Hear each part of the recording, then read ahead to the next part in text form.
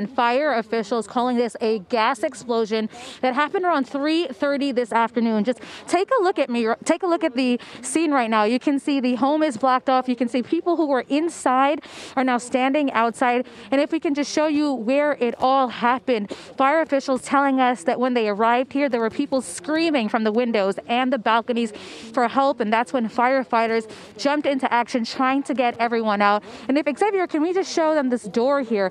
I want to show you the impact of this gas explosion. That is actually a door from this home that actually blew out and is now entangled with those electrical wires that you see. Again, we're told this happened around 3:30 this afternoon at this multifamily home, 1520 Paulding Avenue here in the Bronx. We talked with one man who said he heard people screaming and he ran to help. He climbed up that ladder and he helped the child to safety. Two other people we talked with say they were inside. They smelled the gas, they heard an explosion and saw things flying all over the place. Right now, we're told two people are critical, including an adult and child. Take a listen to those people who were inside. I heard the lady screaming to, you know, because she had the baby right there. So I run to it and I grabbed the baby. And how, how old was the baby? Was it like kind of a... Like four, six months? The room was just upside down in about a second. That's what I keep telling people because that's what it felt like. I'm texting on my phone. I look up. The room is literally different.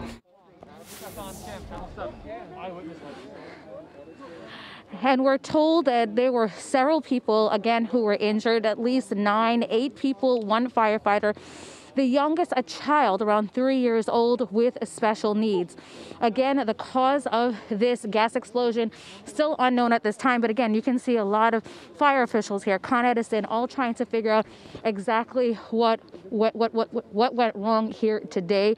Again, there are nine injuries in total. Two people we're told are critical. Those two people, an adult and then a child. We are live in the Bronx. Jennifer Bisram, Pix 11 News.